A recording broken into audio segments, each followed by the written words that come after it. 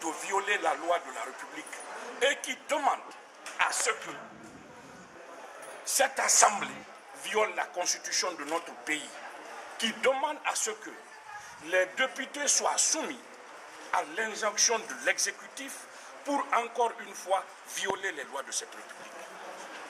Ces gens-là, encore une fois, le peuple est témoin.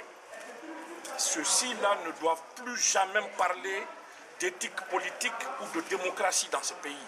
Parce que aujourd'hui, ils se sont associés avec la majorité devant tout le monde